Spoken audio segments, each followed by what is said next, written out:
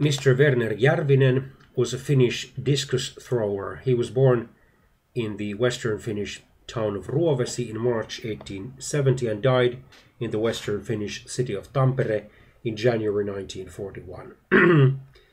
he won the uh, antique discus throw competition in the Athens Summer Olympics of 1906 and the modern discus throw competition of that of those same Olympics gave him the bronze medal.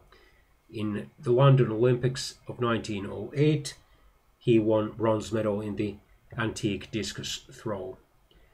Um, he worked as um, a leader of the Finnish state railways from 18 or as a worker of the Finnish state railways, then gradually being promoted uh, to a supreme uh, or senior uh, train conductor.